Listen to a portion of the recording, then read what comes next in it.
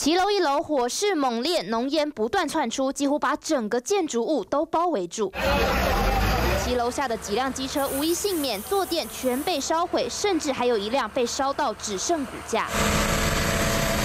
消防队全力灭火的同时，也出动云梯车，因为顶楼有民众还在等待救援。我我我听到那爆炸声啊！快快点把它按按他们的电铃，对，叫你叫你们赶快下来，这个冒烟了，好好。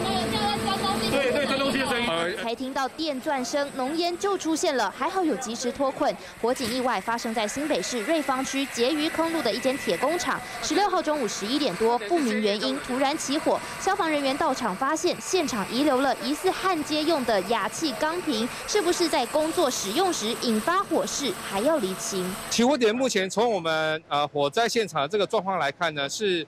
在这个一楼的中后段的地方发生这个起火，那至于实际的起火原因呢，还是要由我们新北市消防局火灾建设中心的同仁呢来进行相关的火灾建设工作。火警发生当下，二到五楼的住户总共有七人，其中三名大人和三名小孩逃到顶楼被云梯车救下来，另外四楼还有一人也有顺利脱困，其中五人预防性送医，没有大碍。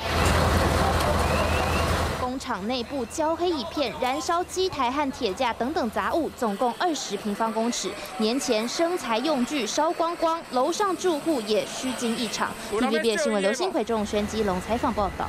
掌握全球情势、国际新闻，全新选择 YT 频道 TVBS 国际 Plus，扩大视野。欢迎订阅并开启小铃铛。